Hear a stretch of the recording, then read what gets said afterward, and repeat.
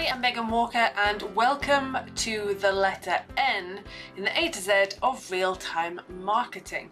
So N is all about the new emails and the new email templates and how we create them. And how is it different from the emails in the outbound marketing area? So one thing to keep in mind is you've got all of your stuff in the outbound marketing, which is what you've been using. You've got all your emails, they're not in real-time marketing. They're a completely separate um, area. So we're going to look at the emails for real-time marketing and just know that you're going to still use when you do an outbound marketing uh, journey, you're still going to use emails from that area, but if you're starting to dip your toe in the real-time marketing, you're going to have to create your emails in this area and then use those in the journeys for real-time marketing. So what am I talking about? Let's take a look. Okay, so we are in the emails area in real-time marketing.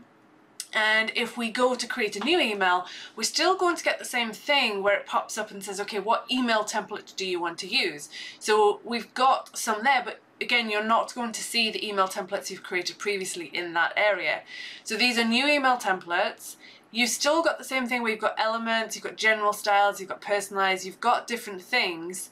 Um, so it looks similar in terms of how the, the creation goes. But what we're going to do is we're going to look at an email template that I have created in terms of some customization. So I've got an image in there, I've got some text in there already. But let's go ahead and, and customize it now from, from this point. So I'm going to go and I'm going to look at putting my subject in. So I've got feedback request and this is going to be, if you watched the letter M where we made an event trigger, I'm going to use the event trigger to personalize this email. So what I'm doing is I've clicked on the personalize option and then I'm going in and I'm basically looking for the event trigger that I created, which is the case closed send survey, again from the letter M. And I am putting into the subject where I'm going to say, okay, I want the case number from the trigger that happens that we're going to then use to say we're going to send this in the journey. So I'm not only able to customize from the uh, contact and their first name and things like that, I'm also able to use an event trigger to say if this event triggers, we're going to use this email to send out and we're going to pass stuff through. So this is a fairly typical thing. I'm basically using the contact's first name as the personalization and then I can put in a default value. If for some reason there's no first name, I can say hi there instead. And then in the preview text, I'm basically saying, could we ask for you to give some uh, feedback? So what are your thoughts?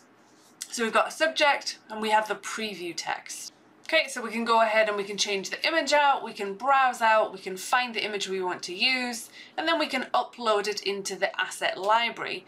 Um, when we upload, we can also add key keywords and stuff like that, descriptions, and make it easier to find. We'll look at that in another video. So i have gone ahead and I've uploaded my image. That's the one that I want to use.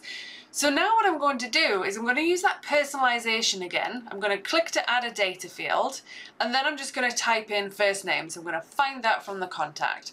So again, I can put in a default value. If that field for some reason doesn't have a value, what do I want to display instead?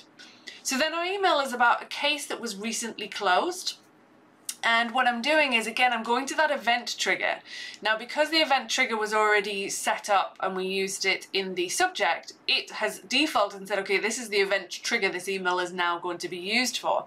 So I'm using the case owner, which is one of the values I'm passing back from my event trigger. So we can say the case was closed by case owner. And then again, we're going back to the event um, trigger and we're getting case title. And it, we also have this default value. So there should always be a case title, but it's up to you if you want to put a default. Um, now we're going to go for the description on the case. Again, that's been passed back through from the event trigger. And then if there's nothing in there, we can say, just put details of the case. Uh, then what we can do is on the last one, we'll do personalization again. We click and we go into the event trigger instead of the contact and all of our values, our attributes that we're passing back through, we're going to go ahead and we are selecting them.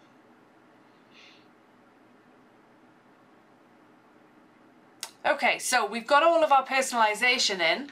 Um, once we're happy with our email, that's great. Um, what we can also do then is one of the values that we were passing back through from the event trigger is we were passing through the um, survey invitation link that was generated from a customer voice action step. So again, if you haven't watched the letter M in this series, go ahead and watch that now.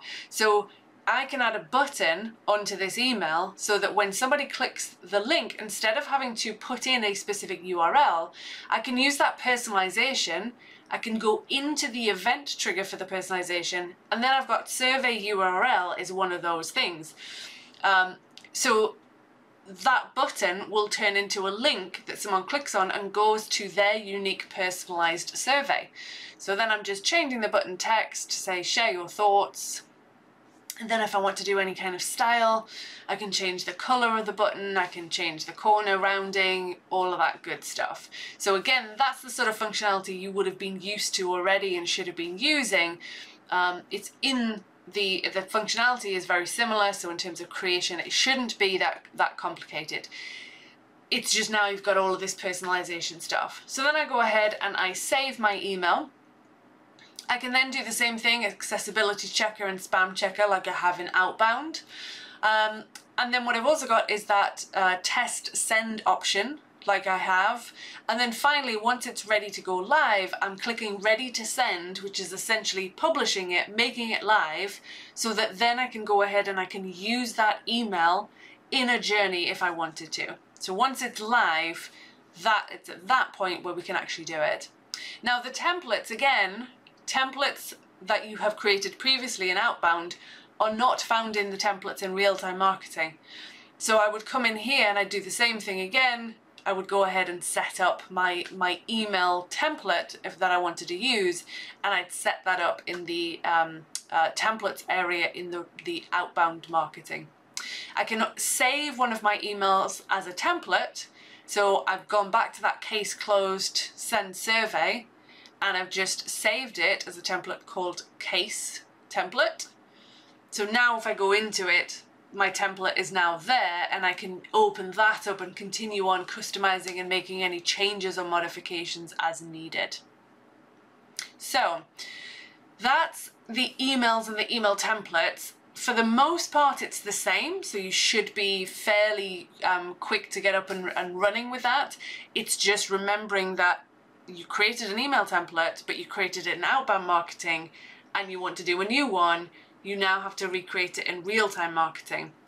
You can open them up and copy the HTML and then paste them into real time, um, but just keep that in mind. If you're going looking for it, saying, I know I created my template, just make sure, did you create it in outbound marketing? Um, so let me know what you think in the comments below. Is this something that you're ready to start using yet? Are you ready to start creating your real-time marketing emails and sending them out? Let me know in the comments below.